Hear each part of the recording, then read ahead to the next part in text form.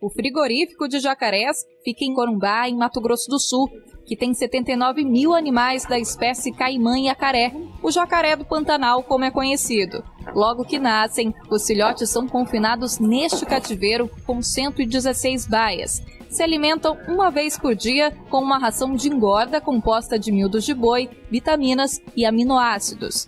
Assim que começam a ganhar peso, os jacarés são separados por tamanho nessas baias com 52 metros quadrados. Por aqui eles permanecem por cerca de um ano e meio até chegarem no peso e no comprimento ideal para o abate. Com 8 quilos e 1,20m um de comprimento mais ou menos, eles podem ser abatidos. Esse é o primeiro frigorífico de jacarés de Mato Grosso do Sul e o maior do Brasil.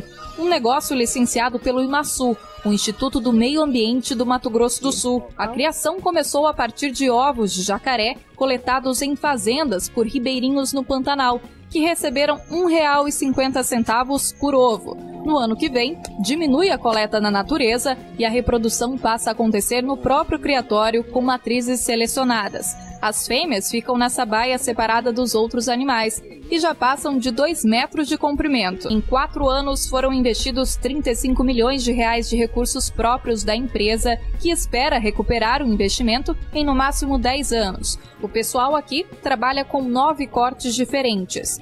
Tem o filé da cauda, filé de lombo, filé do dorso e filé mignon, que custam 70 reais o quilo. Já as coxas, sobrecoxas e aparas saem em média por 45 reais o quilo. Além da carne, a pele do jacaré também é valorizada principalmente no mercado internacional. Bem tratada, cada peça lá fora é vendida por cerca de 200 dólares, o que equivale a 600 reais.